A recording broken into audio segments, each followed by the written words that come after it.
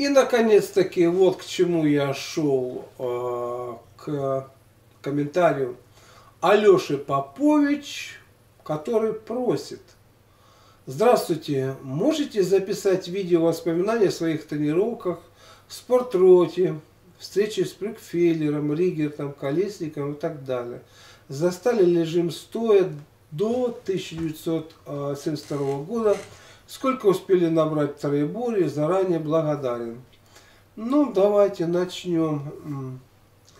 Значит, троеборье я застать застал, но вот только я его застал, как оно сразу же жим отпал. Значит, в жим стоя я застал это движение, но я по нему не выступал, то есть пытался тренировать. И смотрите, если я родился в 54 году, то в 72 мне было 18 лет. 18 лет мне было, да, даже ну, вот так где-то. 18 лет. И я особо, особо не, ничего не набрал, не показал. Потому что именно по-настоящему я где-то начал заниматься как раз вот с 71 там года ну, более-менее самостоятельно. Ну что это там такое? Поэтому где-то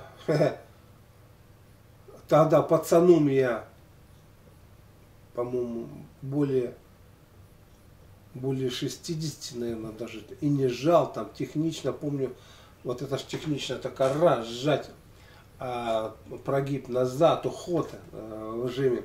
Мне как щелкнуло что-то в позвоночнике, я после этого перестал. А, делать э, жим стоя этот классический. И, и, кстати, его отменили, пошел, значит, рывок. Значит, в тройборе не успел я ничего набрать.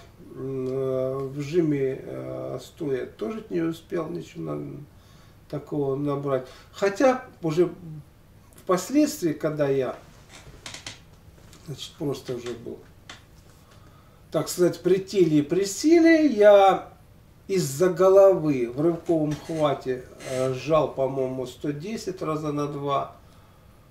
Из-за головы, значит, э, под наклоном я жал, или даже чуть ли не сидя жал, 160 килограмм. 180 лежа я жал. Ну, вот так вот примерно. Но это уже так просто, просто было, просто были занятия. Далее. И, и начнем теперь сначала. В спортруте. Ну что, в спортруте мы приходили с утра. То есть, что такое спортрута? Спортрута отбирают перспективных спортсменов заранее, призывают их в спортроту. И там, значит, они живут. Живут, как правило, значит, такие, как казарма. Здесь где-то более штангисты, здесь более там ватерполисты, здесь более еще там по этим самым боксеры, борцы по, по кубрикам.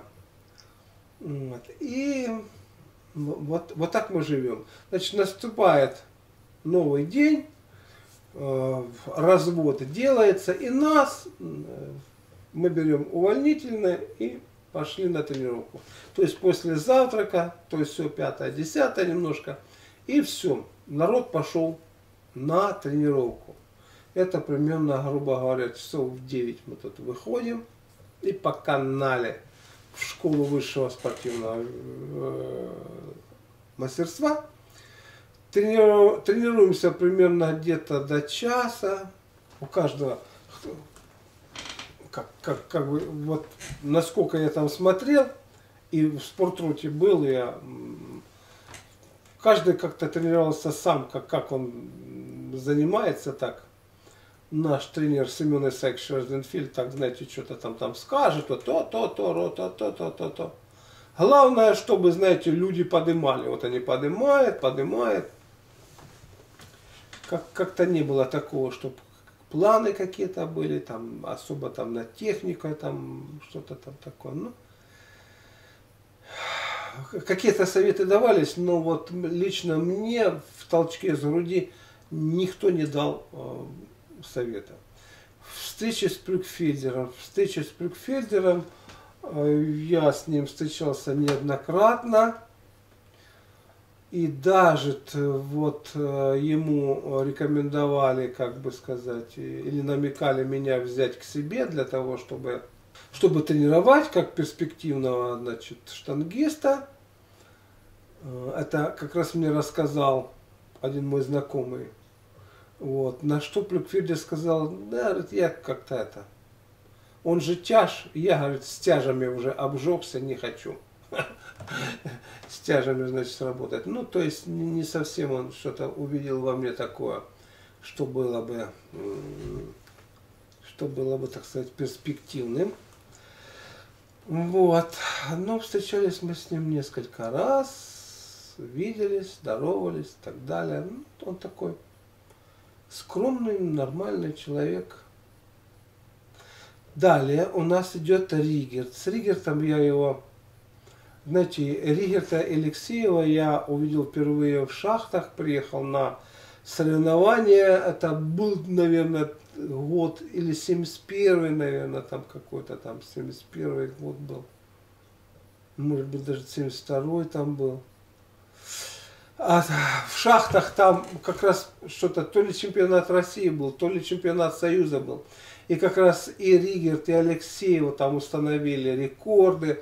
И вот только что закончилось соревнование с, а, это самое, во втором тяжелом весе награждали, значит, эм, Алексеева, э, куча народа подошла, Ригерт и так далее. Я вижу Ригерт, он не такой уж большой э, такой человек, а я, значит, это, в эту толпу, значит, тоже там затесался, там, поздравления, том и сём, там, после удачного, естественно, соревнования, там, шутки различные, а я, Ригерт одетый уже был в обыкновенную одежду. Вот, а Алексей только что выступил. И я, значит, Ригерта в спину тыкал, думаю, что там у него за мышцы, что там у него за мышцы. Так и он пару раз там обернулся, то есть еще пацаном. Далее я его встретил в спортроте, он приезжал там наведать своего ученика Володю Межинского. Вот как раз в спортроте, ага, то есть все, поздоровались так-сяк. И он как раз там, знаете, у нас была гиря где-то, ну, возможно, килограмм, килограмм под 40 она была. Может быть меньше, может быть, ну, где-то так. И не гиря была, знаете, вот от, э, от этих самых, э, такой груз, которые стрелки там переводят. То есть стрелку перевели, потом раз это там, положили ее для того, чтобы она никуда там не двигалась, там ни ветром, ничем. То есть такая своеобразная гиря была. Вот. И он так ее как-то осторожненько там поднимал. Вот. А, а я, значит, как, как гирю поднимаешь, она обычно перелетает и сюда ложится. А он как-то ее так осторожно. И я только раз, несколько раз сделал, она, ну, я там боялся, что она тут мне что-то там может с запястьем там сделать или еще чем-то такое. А потом я... Вот, вот этот момент запомнился. И, наконец-таки, мне запомнился э, самый последний момент. Это я уже был на Первом канале, вел Малахов Плюс. И как раз мне надо было ехать с лихой в Москву. Остановился поезд, вот этот вот Ростов-Москва. Вот, выходит Ригерт, Ригерт выходит.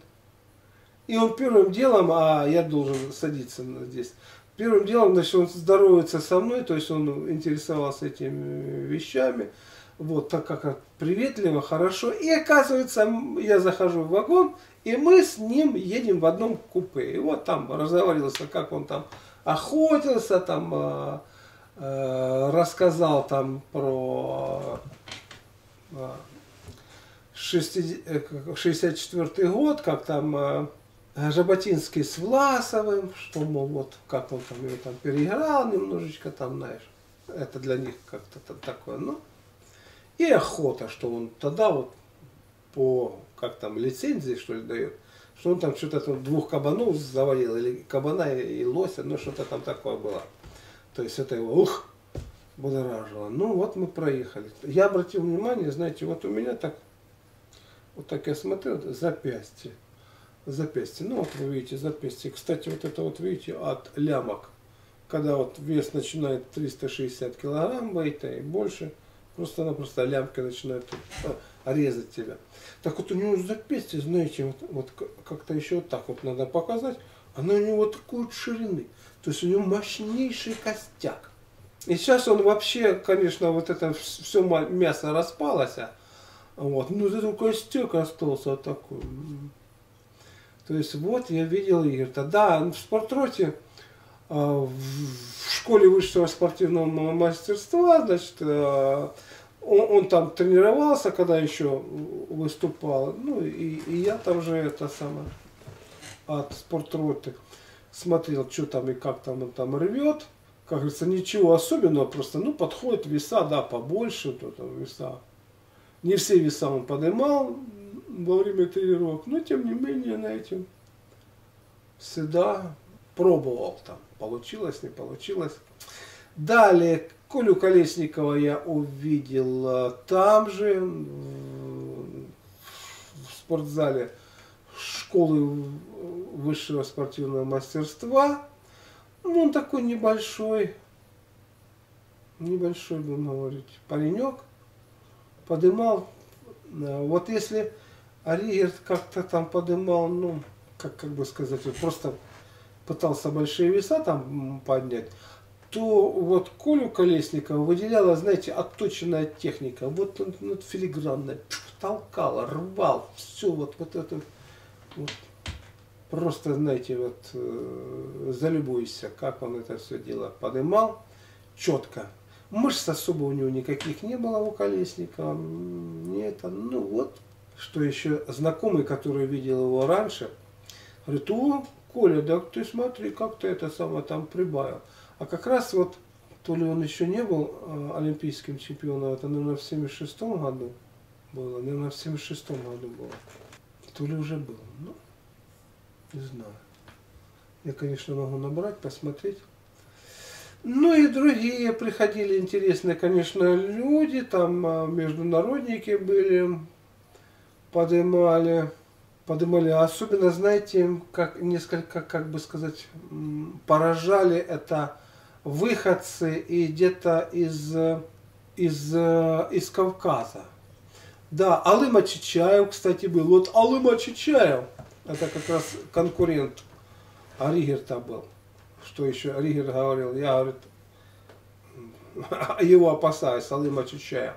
Я его, ну, его как-то в спортзале не особо видел, я его видел на пляже ростовском. Шляпа сомбрера, ну, такой, знаете, вот, вот. Не, не хочется сказать, что он накачанный. Он не накачанный, а вот у штангистов это как-то проявляется несколько по-иному, знаете, такое, такое, грубо говоря, здоровье, так, такое, такое мясо, такое вот, ух! Вот, Алым Чичаев, да. А другие, которые были, э, вот, как правило, они там тоже лихо поднимали, но как-то дальше особо они не пошли, и все говорили, на красной икре, мол, это самое ложками есть или банками есть эту красную икру, и там 200 на грудь цепляли только так. А это как раз год был, смотрите, я-то служил 73-75, это вот как раз 74 э, так год. Вот это вот все это я видел.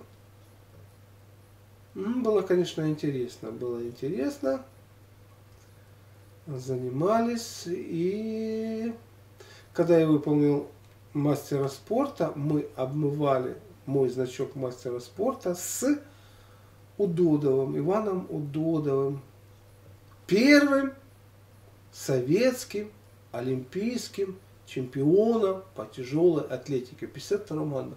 Это вообще человек-легенда, незаслуженно забывший, Забыт он, потому что он был угнан в Германию, э, отсидел в Бухенвальде. Представляете, в Бухенвальде, ё-моё. В сорок пятом году его вынесли на руках полуживого. В сорок пятом году. А в 52-м он стал олимпийским чемпионом. Возможно, надо тогда было там как-то остаться, закрепиться, но... Ну, Ну вот, пожалуй, и все, так сказать. Знаете, когда специально начинаешь что-то там вспоминать, что-то вспоминается ярко, что-то особо там не вспоминается, а потом приходит. Ну, вот такой вот, Алеша Попович. Так что благодарю вас, что, что затронули эту тему. Был у меня такой, знаете, опыт в жизни. Общался, знаю, знаком